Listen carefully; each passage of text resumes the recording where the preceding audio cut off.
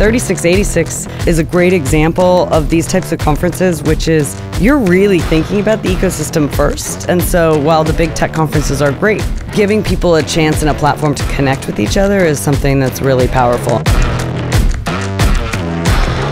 If you don't have passion in what you do, you cannot change the world. It's the combination of the investor, it's the combination of the entrepreneur and the ecosystem builders. The need is there to understand how to drive growth through technology that comes from startups. That's what Launch Tennessee is about.